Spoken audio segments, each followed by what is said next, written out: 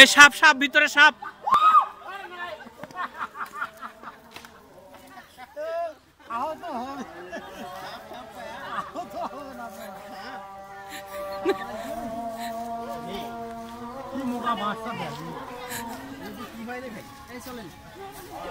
স্বাভাবিক ব্যাপার মোটা মাসে সাপ থাকতে পারে।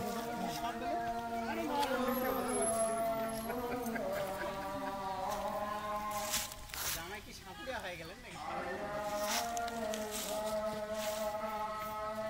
হয় ইলে কোন বাস।